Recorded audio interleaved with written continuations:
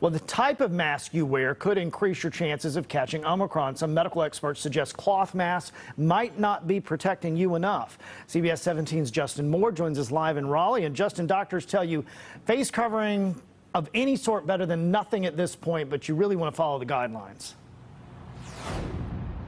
Yeah, doctors are saying that, but I found in several stores that there are still people who are not wearing anything. I have surgical masks in my car. I bought a few of these um, cloth masks, and they have some have inserts in them. According to the World Health Organization, it might be time to retire those cloth masks. Doctors believe it might not be enough to shield people, especially those at high risk, for the extremely contagious Omicron.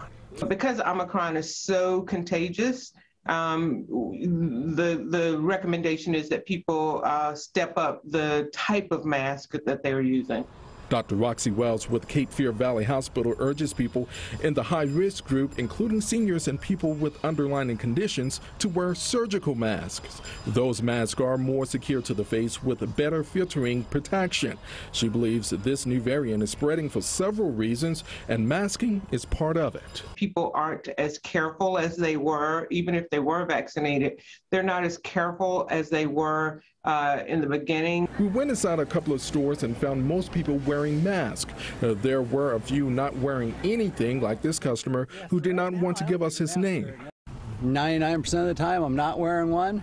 Like if I'm around somebody who feels more comfortable with me wearing one, you know, then out of you know out of you know to help them out to alleviate their fears. An ounce of prevention is worth a pound of cure. Something's better than nothing.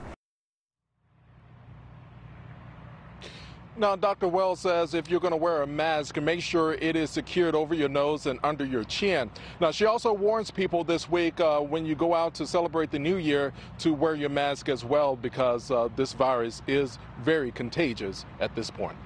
Live in Raleigh, Justin Moore, CBS 17 News. Yeah, good reminder there, Justin, for people to pull it over the nose because I see a lot of that halfway down the nose, just under the mouth. So good reminder there. Thanks so much for that.